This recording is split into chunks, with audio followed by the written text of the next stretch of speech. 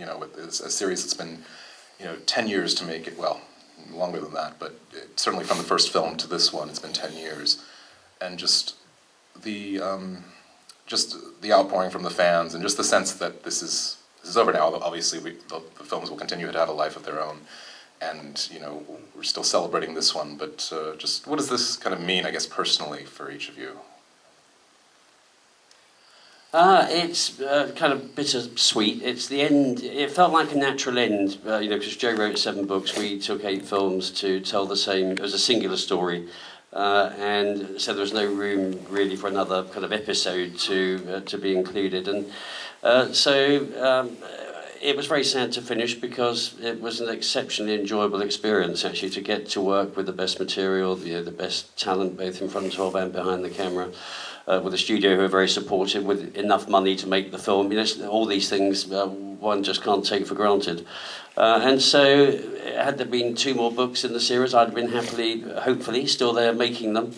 Uh, but it felt like a natural end, and um, uh, I'm very happy with the way the end turned out. And, uh, looking forward to the future? For me, uh, like like DB, DB, DH, DY, three Davids. Um, uh, um, it's bittersweet. Um, you know, I, for me, it's been 14 years, and um, it's been uh, such fun and such a privilege to work on this material. And also, a lot of the same people worked on the films from the beginning. So over the course, and we saw young kids grow into young adults.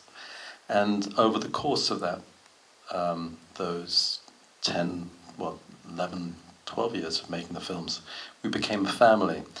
And so the sadness, a big part of the sadness is that that family all goes off in different directions and uh, we'll never be together again. At the end of each film, you knew you were coming back, but that is no more, so I'll miss that.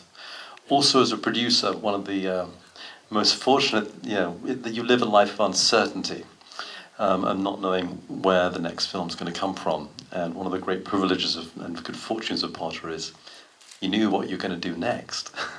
but I don't, yeah, there's a little more uncertainty now.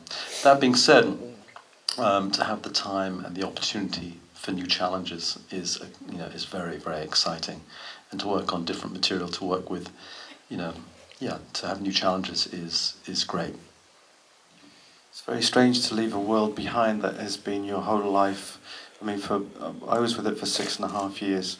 I mean, David's management of the whole series is extraordinary. I think, you know, eight movies over a decade of extraordinary work, and it's been beautifully coordinated over that period. But I was with it for six and a half years, and leaving it behind was, at one level, a huge relief because it was an enormous amount of work, and um, it was great to get to the end of it. Um, but also, like these guys, it was also very sad to sort of.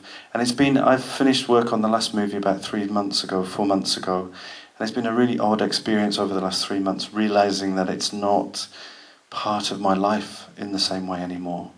And we were joking last night about starting a little sort of group, um, Harry Potter Anonymous, for people who've worked on these movies. And we'll get together every few months and we'll talk. It'll be a group therapy session and we'll share our experiences. But it has been, and I've been traveling recently and we've been to Indonesia and to Thailand and to Italy. And wherever we go around the world, these movies have reached people and it's extraordinary. And it's uh, in that sense, I don't think this big elephant in the room, which is Harry Potter, which is part of all our lives, will ever quite go away. It'll be there for the rest of our lives, I think.